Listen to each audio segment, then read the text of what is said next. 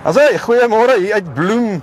Dit is 'n heerlike herfsdag en ek sit hierso op die ek dink hulle noem dit die groot wiel of die big wheel of die Ferris wheel, wat ook al jy dit wil noem. En ek en Elmarie gaan 'n bietjie gesels oor wat gister alles gebeur het, uh, hoe dit gaan het en wat jy vandag kan verwag. Elmarie, gaan dit? Dit gaan lekker. Die wind waai lekker hier bo, soos jy sê herfsdag is soos dit so kan noem. Ehm um, ver van die grond af. So miskien moet ons maar net by dit begin. So, so dan gaan alles ons baie goed. Um, nee, ons het ek, ons het 'n lekker stiller dag gehad gister. Dit was 'n weekdag, 'n werksdag. Maar ons het 'n baie goeie vertoning gisterand gehad um, van Snotkop, baie goed bygewoon. Uh die salperde um, is goed weer aan die gang nog steeds. Um, maar ja, dis naweek, is lekker lang naweek.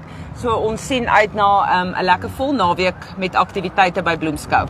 Dan natuurlik sien ek die miniatuurperk is ook hier aangekom. Hulle is ongelooflik oulik. Ek dink cuteness overload as ek gisteraan verwys het. Ehm um, en dan die skape is nog steeds besig.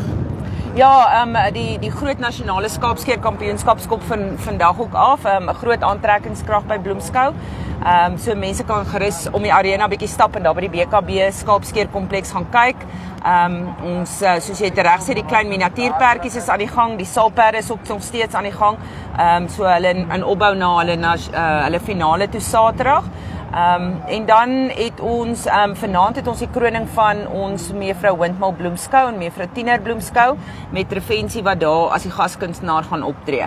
So 'n lekker skou dag. Ehm um, Ja, Vrydag in Bloemfontein kom die mense mos maar 'n bietjie vroeër af van werk af so in plaas om daai koffiewinkeltjie of 'n um, restaurantjie te gaan opsoek vir jou laatmiddag Vrydag 'n uh, drankie of koffietjie, kom kom geniet dit by Bloemskou saam met ons. Ja, dit is en is 'n lekker dit is 'n lekker dit is bietjie koeler hierbo, maar onder is die wind minder en is dit baie lekker. En nou, die kos hierso is regtig het met ons gisteraand gepraat. Ons het gister heerlik gaan uit eet hierso by een van die stalletjies.